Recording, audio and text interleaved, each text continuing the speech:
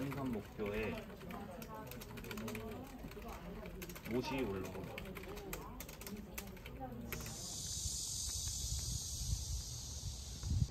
세못으로 이거를 이게 못이 올라왔다는 민원이 올라와가지고 칠을 한 모습이에요.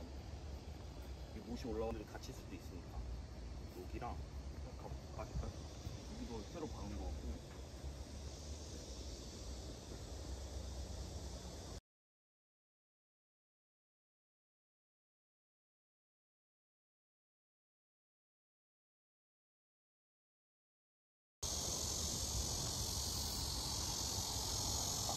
이 부분이 우천 때문에 이상 작동을 했었는데 이거를 더 조치를 이게 자동으로 내려가서 문제였던 거지. 그죠 이제 계속 왔다 갔다 이렇게 했었던 게 문제 같은데